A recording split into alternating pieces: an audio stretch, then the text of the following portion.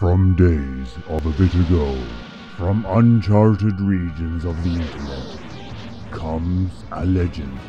The legend of Mad Toy and King of Beast Fake Voltron Toy. A mighty robot, loved by nerds, feared by web. As King of Beasts legend grew, lawsuits settled across the internet. On planet Earth, all signs of Cobb disappeared. Many nerds complained. I wondered if we'd ever see Cobb again. Until one day, he arrived in my mailbox. Cobb was here to stay. This is the story of a cool toy based on another cool toy. That is awesome and is unofficial, so nerds can enjoy. Bo- Whoa, whoa, hey, hey there. You just can't come out and bust that name out after all the time I've spent trying to set up the theme for this guy. Sheesh. Hi, this is obviously a review of the Mad Toys Cobb. Looks a lot like Voltron, King of Beast. And first off, we're going to have ourselves a little look at the green and red lions. They're pretty nice. There they are right there with their red and their green. It's great that they have different bodies and the articulation is the same on both. They have rocket punches on their heads. I'm not too sure how I feel about that. Some necks would have been a nicer effect in my uh, personal opinion. The green has some great coloring on him though. And some nice ratchet joints. Actually, all the lines have got really nice ratchet joints on them. It's very sweet.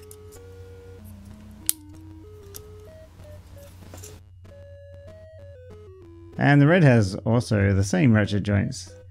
The articulation's pretty good. Ah, watch out for his leg. Mine broke off there because it was a bit too cold and I think the joint was a bit too tight. And their tails are die cast, which is weird. Rather nicely, they have, uh, because they're the elbows, they have ratcheted twists there. And, oh, a twist there. The other one's a bend, not a twist. Their heads come off and have ratcheted jaws with the old clickety clickety. They're pretty cool. The heads are the same sculpt. Why am I still playing with the jaw? There you go. The teeth opens quite a bit. Good for holding weapons for the combined mode. You get two. I can't see any real difference between them. I guess one is just in case you lose the other one in the couch. Under the couch?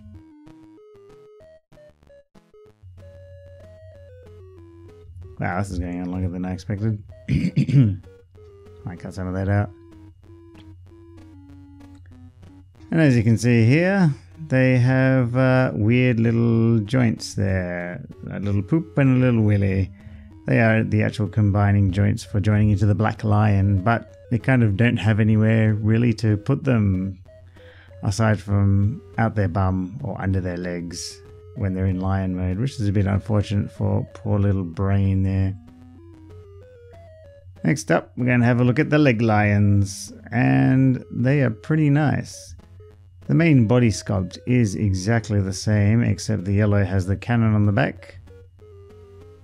And what a beautiful yellow paint they have on this. I, I can't quite work out whether it's metallic or not, but it certainly looks good. The cannon doesn't pop up because these guys are without gimmicks, and he's also missing his chops of missile launching death. But he does come with a very tight neck twist. Also, that joint there is the ankle rocker for the main combined mode, and the blue lion has that as well.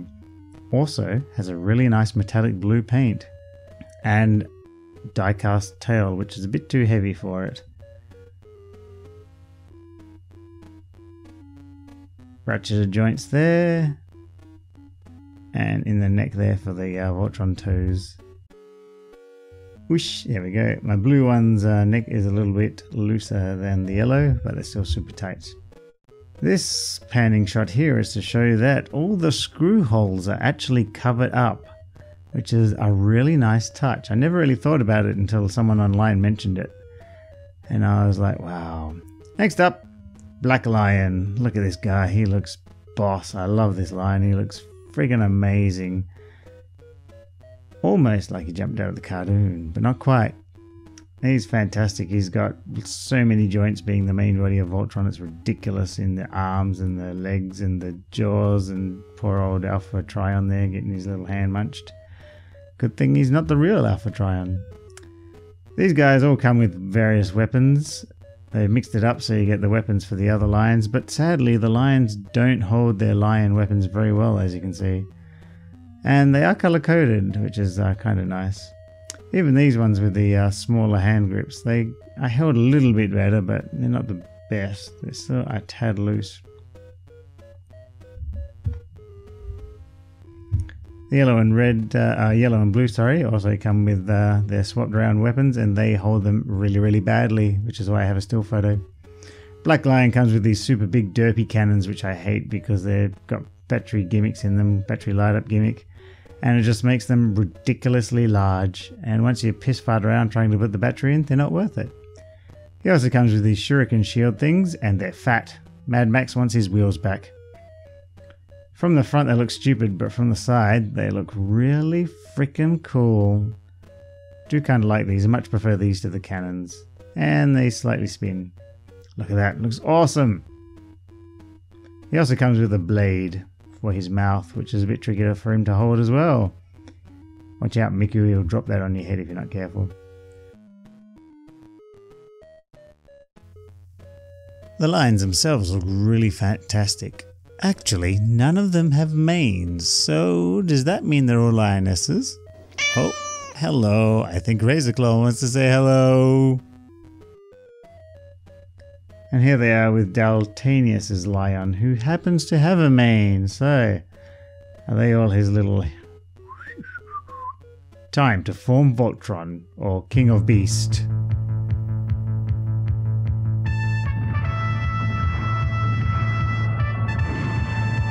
Ready to form Voltron! Activate interlocks! Dynotherms connected! Infracells up! Mega thrusters are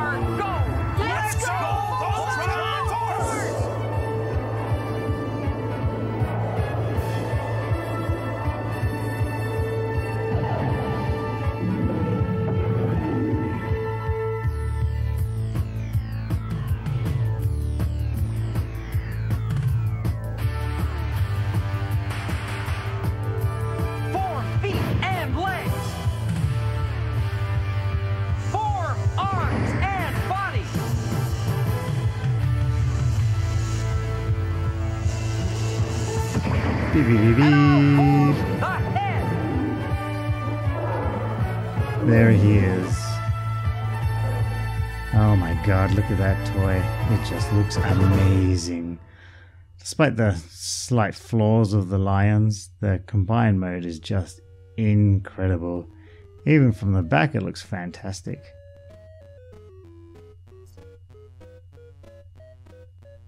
The lions have got larger legs for their lions mode than the original toy, like proportion wise. And for the red and green, they slightly get in the way of the elbow, but it's not too devastating. But oh my god, just it looks it looks so good.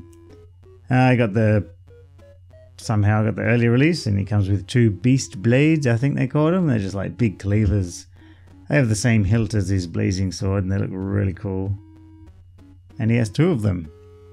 Shame he doesn't have any wrist swivels. He also comes with this form blazing sword effect, which you saw earlier in the introduction, which I quite like. It's a nice touch, and it actually looks really, really good. And with that, you can form his blazing sword. There it is there, nicely sculpted. Looks like the kind of tridenty thing from the cartoon. It's great. Beautiful silver paint on that thing too. And it's big. And he also comes with a flaming sword. Can't remember exactly off the top of my head when he uses this, but I don't care because swords on fire are awesome swords on fire. Fire swords.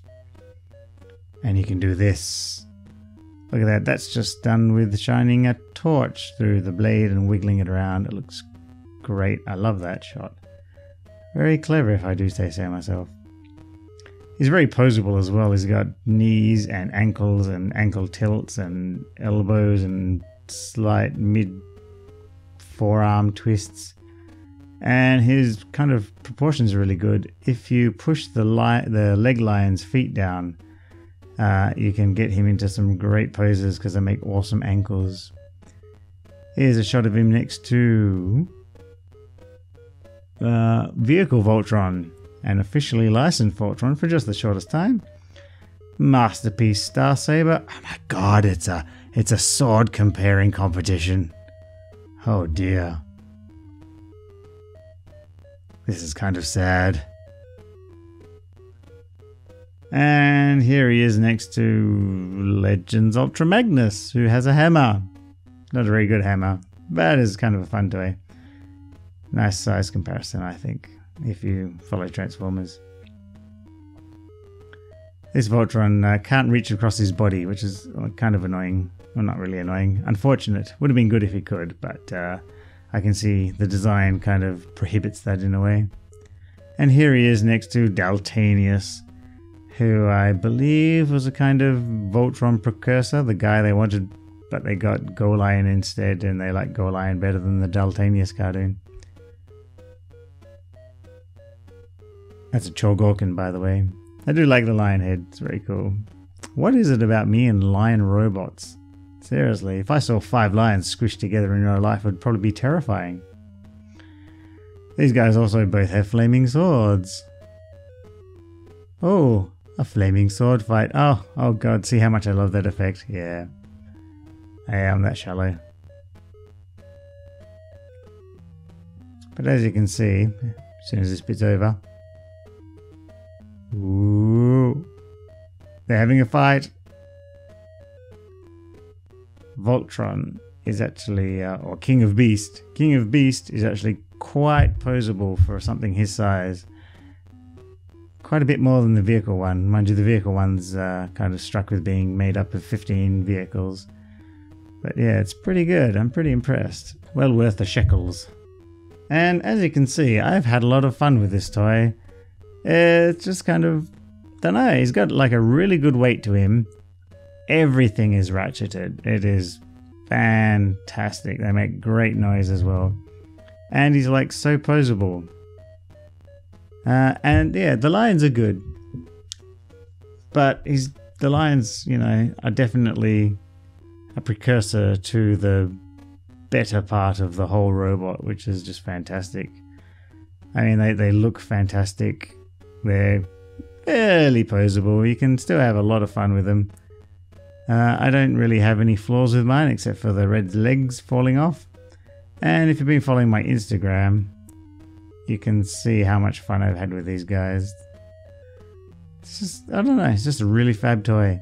And I see there's an official one coming from uh, Wonderfest as well, or from WEP, through news through Wonderfest. So, there we go. I think with this guy, you really can't go wrong. I'm tempted to double dip on the other one as well. Thanks for watching.